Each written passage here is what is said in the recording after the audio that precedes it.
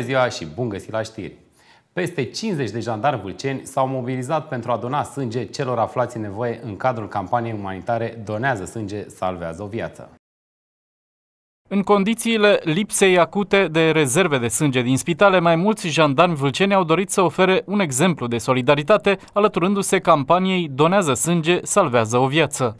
Ca de fiecare dată, jandarmii vâlceni se alătură acestui gen de activități, mai ales că noi suntem printre cei care de fiecare dată am răspuns solicitărilor de a dona sânge, lucru care se vede și care este apreciat de cetățenii din uh, urbea noastră.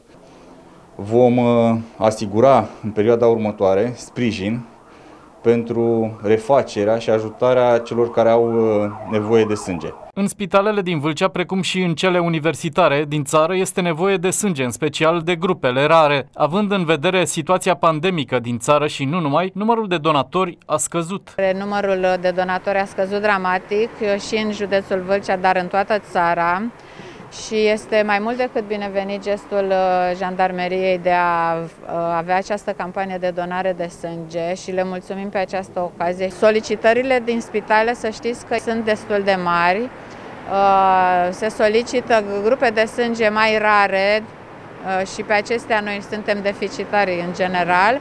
Se solicită componente trombocitare care iarăși se obțin mai greu dar uh, și din partea altor județe și mai ales din partea centrelor universitare, unde se știe că întotdeauna solicitarea de sânge este foarte mare, uh, primim zilnic cereri de la spitale ca Fundeni, Spitalul Universitar București, uh, Bagdasar și așa mai departe. Grupele de sânge deficitare ar fi grupele, grupa B3 negativ, 01 negativ și A2 pozitiv. Pe aceste grupe suntem într-adevăr un pic deficitari, mai ales pe B3 negativ. Deși acțiunea jandarmilor era programată pentru zilele de 7 și 8 octombrie, aceștia vor continua să doneze sânge și în zilele următoare. Ieri și astăzi, un număr de aproximativ 50 de militari jandarmi vor dona sânge la centru de donare din municipiul Unicu Vâlcea.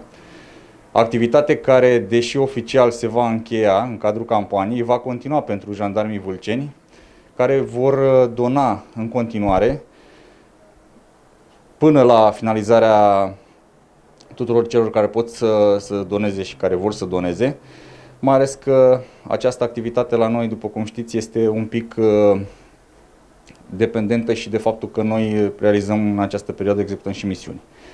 Iar pentru a crea tuturor posibilitatea să doneze, ne vom uh, întinde un pic mai mult decât perioada de donare din cadrul campaniei. Donatorilor li se recomandă să se hidrateze bine, să nu consume alcool sau alimente bogate în grăsimi și să nu fumeze cu o oră înainte de donare.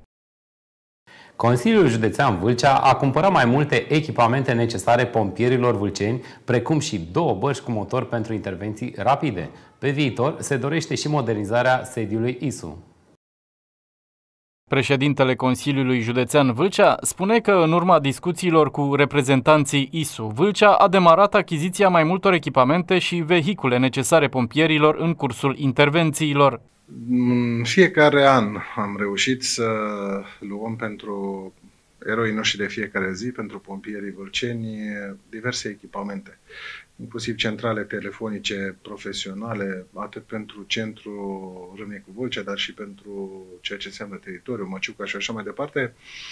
Uh, am făcut aceste dotări, evident, în consultare cu cei care asigură conducerea operativă a ISU Vâlcea, cu domnul Pascaru, cu cei care sunt zi de zi la datorie acolo și iată că a trebuit să achiziționăm și la un moment dat și aceste bărci de salvare pe care le-am, uh, le-am luat. Uh, am aprobat și vom uh, achiziționa și un UTV.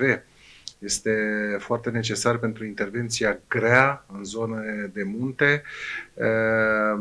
Acest UTV merge inclusiv la stingerea incendiilor în zonele greu accesibile. Sunt... Pe viitor, Consiliul Județean dorește modernizarea sediului ISU, precum și achiziționarea de noi mașini pentru intervenții. Necesitățile sunt, uh, sunt majore. În primul rând, uh, vrem să intervenim asupra spațiilor, vrem să avem o abordare cu privire la sediul în care își desfășoară activitatea. Evident, uh, echipamente, mașini de intervenție, pentru că unele dintre ele sunt vechi, sau mai achiziționate de către Consiliul Județean, inclusiv cu fonduri europene Uh, mașini de intervenție, dar uh, vom continua dotările pe toate palierele, ca, spun, ca să spun așa, pentru că facem lucrul ăsta și pentru a le ușura munca, a le crea condiții, inclusiv la dormitoare vreau să, interven, să intervenim acolo la ISU, uh, pentru că sunt oameni care își petrec și 24 de ore zile în șir la serviciu și trebuie să beneficieze de, de cele mai bune condiții. Eu pentru noile dotări de care urmează să beneficieze Inspectoratul pentru Situații de Urgență, Consiliul Județean a alocat fonduri în valoare de 380.000 de lei. Un nou cabinet stomatologic a fost inaugurat la Budești. De serviciile acestuia se vor bucura gratuit copiii din localitate cu vârsta de până în 18 ani. La grădinița din Budești a avut loc inaugurarea unui cabinet stomatologic performant pentru toți copiii din localitate cu vârsta până în 18 ani. Atât consultațiile cât și eventualele intervenții vor fi făcute gratuit, toate costurile fiind acoperite din bugetul local. Această facilitate, acest cabinet este un lucru extraordinar, am spus în primul rând pentru copii, beneficiază de asistență medicală de specialitate la nivel înalt, cu aparatură modernă. Eu le mulțumesc pe această cale asociației și celor care s-au implicat pentru a putea avea la nivelul localității Budești un astfel de cabinet. Cabinet care va deservi, cum v-am spus mai înainte, toți copiii care au până în care sunt până în vârsta de 18 ani. Proiectul a fost implementat cu ajutorul Asociației Prietenii Spitalului Vâlcean și Fundației pentru Dezvoltarea Societății Civile. Pe lângă construirea acestui cabinet stomatologic, asociația s-a implicat și în alte campanii de ajutare a comunităților unde copiii nu au acces la servicii medicale, mai ales în domeniul stomatologic. Asociația noastră se ocupă în special de fapt exclusiv numai de sănătate. A avut diverse proiecte. Uh, proiectul pe care îl inaugurăm astăzi este unul de suflet pentru noi. Este al doilea cabinet stomatologic din mediul rural pe care noi îl deschidem. Uh, ne bucură mult lucrul ăsta, deoarece sănătatea orală a copiilor, chiar și în urban, cu atât mai mult în rural, lasă foarte mult de dorit. Uh, sunt lipsiți de facilități de acest gen în mediul rural. În multe comunități nu există absolut deloc cabinet stomatologic. Aici, din fericire, există un cabinet stomatologic privat. În schimb, ce ne bucură pe noi va fi un cabinet școlar cu adresabilitate directă către toți copiii din comunitate și toate serviciile vor fi oferite gratuit. Primul cabinet este cel deschis la Mihăiești în primăvară, în luna martie, iar uh, feedback-ul pe care l-am avut de acolo, adresabilitatea copiilor în cabinet, ne-a făcut să ne dorim să mai deschidem și un al doilea cabinet și noi ne dorim poate o să reușim să deschidem și pe al treilea în timp, tot așa, într-o comună mare, mulți copii. Cabinetul a fost posibil datorită programului În stare de bine, care este gestionat de Fundația pentru Dezvoltarea Societății Civile. Iar uh, ce vedeți aici, uh, aparatura, uh, investiția în mobilier, camere, tot totul atât de modern este în valoare de aproximativ 100.000 de lei.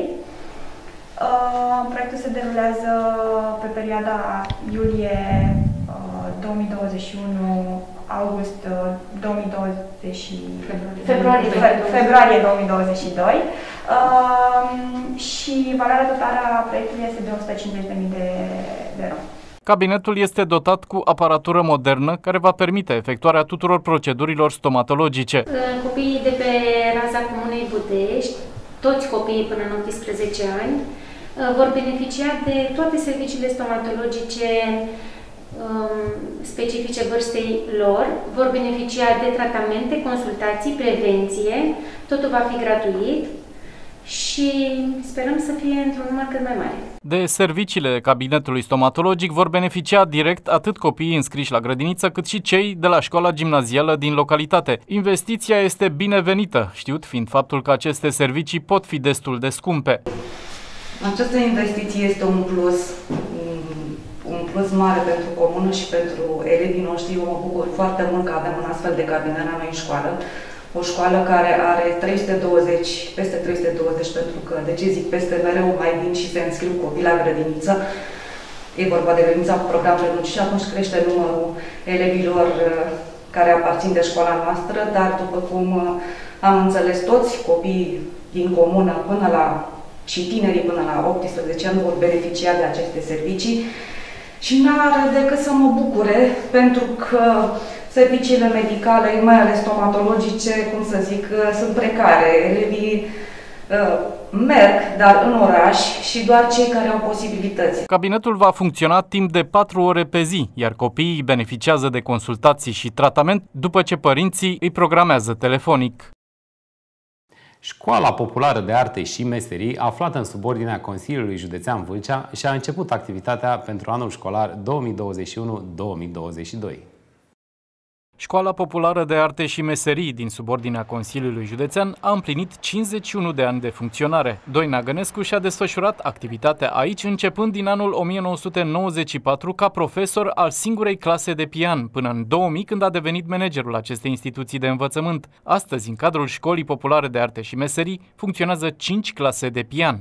La Școala Populară de Artă funcționează de anul acesta 5 clase de pian, 4 clase de canto, 2 clase de chitară, o clasă de vioară, o clasă de orgă, o clasă de percuție, o clasă de procesare sunet, o clasă de actorie, o clasă de coregrafie, o clasă de ceramică, două clase de pictură, o clasă externă de olărit la Horezu, o clasă externă de iconografie la Frâncești. Când spun o clasă, mă refer la un număr de circa 20-25 de copii. În ultimii ani, Constantin Rădulescu, președintele Consiliului Județean, a sprijinit foarte mult activitatea Școlii Populare de Arte și Meserii, investind în reamenajarea spațiului, care a căpătat o altă dimensiune, peste 900.000 de lei. Realizarea studioului de înregistrări și dotarea acestuia cu echipamente de ultimă generație s-a ridicat la aproape 155.000 de lei. La momentul acesta, ă, ca și cursanți noi, sunt înscriși aproximativ 100, la care îi adăugăm pe cei din anii trecuți, deci în jur de 5 500 de copii. În acest moment mai sunt libere 100 de locuri la cursurile de pian, vioară, chitară, canto și pictură. De-a lungul timpului, Școala Populară de Arte și Meserii s-a dovedit a fi o adevărată pepinieră de talente, iar mulți copii care i-au urmat cursurile au dus faima acestei instituții în întreaga lume. Sofia Marinoiu și Mihai Florescu, pian, precum și elevii clasei de actorie profesor Doina Migleții, care în aceste zile participă la un renumit festival internațional de teatru la Sassari, în regiunea italiană Sardinia. Doamnelor și domnilor, acestea au fost știrile. Rămâneți cu Antena 3 Vâlcea, urmează analiza zilei. Eu vă mulțumesc pentru atenție și vă doresc un sfârșit de săptămână minunat. La revedere!